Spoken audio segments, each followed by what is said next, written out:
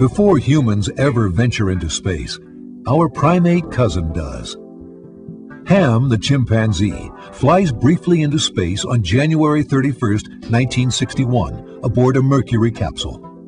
And there's no monkey business on this mission. Ham executes his basic skills flawlessly.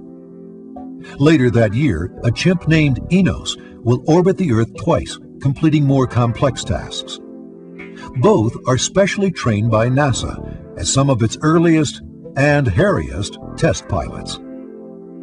The primate flights allow the space program to evolve. Where the chimps go, humans are soon to follow. This has been a NASA history moment celebrating 45 years of discovery and exploration.